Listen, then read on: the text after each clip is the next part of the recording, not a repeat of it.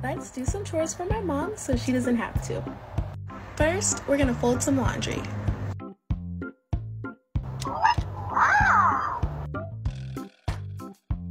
Next, we're gonna pick up some toys.